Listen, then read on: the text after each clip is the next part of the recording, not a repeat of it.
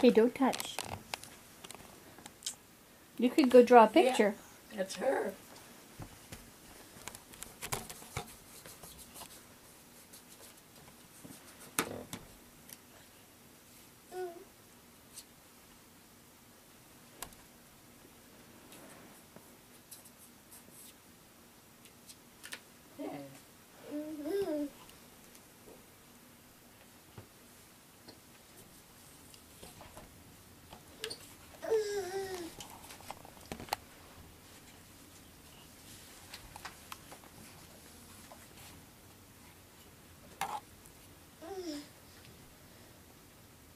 What I want to do.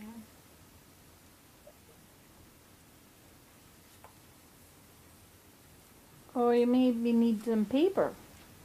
And some paper for that? Here.